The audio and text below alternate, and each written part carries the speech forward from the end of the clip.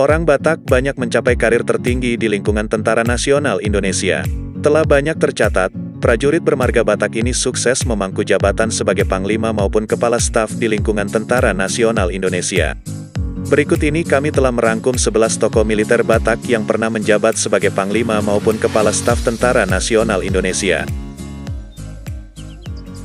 Namun sebelum lanjut luangkan waktu Anda untuk menekan subscribe, karena subscribe Anda sangat bermanfaat untuk kami lebih semangat upload video menarik lainnya. Terima kasih. 1. Maraden Panggabean Jenderal TNI Maraden Saur Halomoan Panggabean lahir di Tarutung, Kabupaten Tapanuli Utara. Beliau adalah salah seorang tokoh militer Indonesia yang pernah menjadi Menteri Pertahanan dan Keamanan dalam Kabinet Pembangunan kedua serta Menteri Koordinator Politik dan Keamanan dalam Kabinet Pembangunan ketiga. Selanjutnya pada 1983 hingga 1988, Maraden menjabat Ketua Dewan Pertimbangan Agung. Jenderal TNI Maraden Panggabean pernah memangku jabatan Panglima Angkatan Bersenjata Republik Indonesia atau Panglima TNI ke-6 masa jabatan tanggal 28 Maret tahun 1973 hingga tanggal 17 April tahun 1978 menggantikan Soeharto. 2. Faisal Tanjung Jenderal TNI Faisal Etno Tanjung lahir di Tarutung, Kabupaten Tapanuli Utara. Beliau adalah seorang tokoh militer Indonesia. Faisal adalah alumni dari Akademi Militer Nasional Angkatan 1961. Seorang perwira yang memiliki pengalaman di bidang tempur, teritorial dan pendidikan. Awal karirnya banyak dihabiskan di pasukan khusus, Grup Sandi Yuda RPKAD atau sekarang disebut Kopassus dan kemudian di Brigade Infanteri Lintas Udara 17 Kostrat.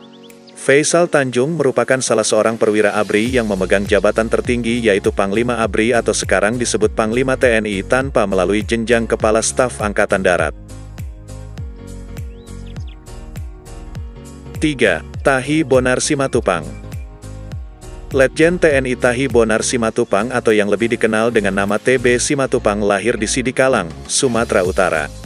Beliau adalah seorang tokoh militer di Indonesia. Simatupang pernah ditunjuk oleh Presiden Soekarno sebagai Kepala Staf Angkatan Perang Republik Indonesia atau Kasab setelah Panglima Besar Jenderal Sudirman wafat pada tahun 1950.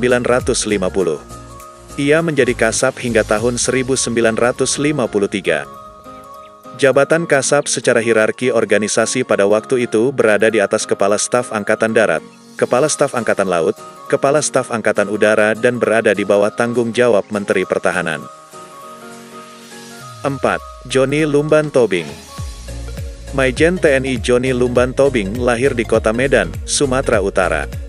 Beliau adalah seorang purnawirawan perwira tinggi perwira tinggi TNI AD yang terakhir menjabat sebagai Inspektorat Jenderal TNI Angkatan Darat.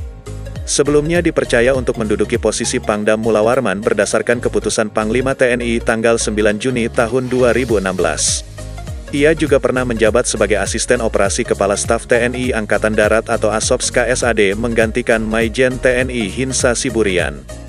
Joni Lumban Tobing merupakan lulusan Akademi Militer 1983 dari Kecabangan Infanteri. 5. Sintong Panjaitan Letjen TNI Sintong Hamonangan Panjaitan lahir di Sumatera Utara. Beliau adalah seorang purnawirawan TNI lulusan Akademi Militer Nasional atau kini disebut Akademi Militer tahun 1963. Ia merupakan penasihat militer Presiden B.J. Habibie dan pernah menjabat sebagai Pangdam Udayana. Letjen TNI Sintong Panjaitan menerima 20 perintah operasi atau penugasan di dalam dan luar negeri selama karir militernya. 6. Mahidin Simbolon Mayor Jenderal TNI Mahidin Simbolon lahir di Medan, Sumatera Utara. Beliau adalah mantan Panglima Komando Daerah Militer 17 Trikora. Mahidin merupakan alumnus Akademi Militer tahun 1974 dan berasal dari kecabangan infanteri Jabatan Militer terakhir Mahidin Simbolon adalah sebagai Inspektur Jenderal Angkatan Darat.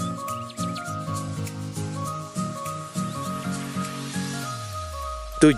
Rifai Harahap Letnan Jenderal TNI Abdul Rifai Harahap lahir di Pematang Siantar. Beliau adalah seorang purnawirawan perwira tinggi TNI Angkatan Darat. Ia pernah menjabat sebagai Ketua Kuartir Nasional Gerakan Pramuka Indonesia.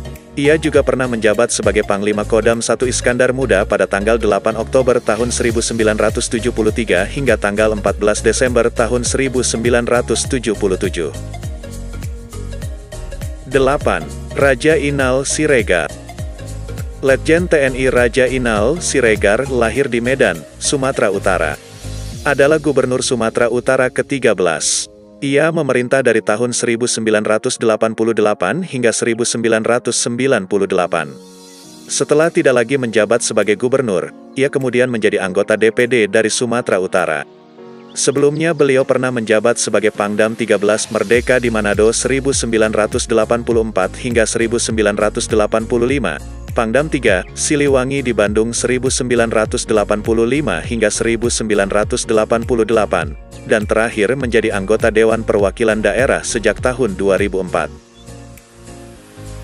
9. Esron Sahat Sinaga Marsekal pertama TNI Esron Sahat Bangun Sinaga Esos MA lahir di Medan, Sumatera Utara. Beliau adalah seorang perwira tinggi TNI AU yang sejak tanggal 26 Mei tahun 2020 mengemban amanat sebagai Pangkosek Hanutnas atau Panglima Komando Sektor Pertahanan Udara Nasional 3 Medan. Esron, merupakan alumnus Akademi Angkatan Udara tahun 1994.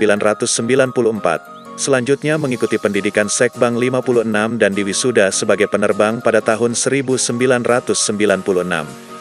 Jabatan terakhir Jenderal Bintang 1 ini adalah Paban 2 Direktur Pendidikan dan Latihan Komando Pembinaan Doktrin, Pendidikan dan Latihan Angkatan Udara. 10. Syamsir Siregar Maijen TNI Syamsir Siregar lahir di Pematang Siantar, Sumatera Utara. Beliau adalah seorang tokoh militer Indonesia yang menjabat Kepala Badan Intelijen Negara sejak tanggal 8 Desember tahun 2004 hingga tanggal 22 Oktober tahun 2009. Ia lulusan Akademi Militer Angkatan 1965 dan berasal dari Kesatuan Infanteri Kostrad. Pangkat terakhir sebagai militer adalah Mayor Jenderal TNI dan jabatan terakhir di militer adalah Kepala Badan Intelijen ABRI. Ia juga pernah menjabat Panglima Kodam Sriwijaya. 11. Zulkifli Lubis Kolonel Zulkifli Lubis lahir di Banda Aceh. Beliau adalah seorang tokoh militer Indonesia dan pernah menjadi pejabat Kasat periode tanggal 8 Mei tahun 1955 hingga tanggal 26 Juni tahun 1955. Selain itu ia juga dikenal sebagai pendiri dan juga menjabat sebagai Ketua Badan Intelijen pertama di Indonesia. Zulkifli adalah anak kelima dari sepuluh bersaudara. Ayahnya bernama Aden Lubis Gelar Sultan Sri Alam dan ibunya bernama Siti Rewan Nasution. Kedua orang tuanya adalah guru di sekolah guru normal school.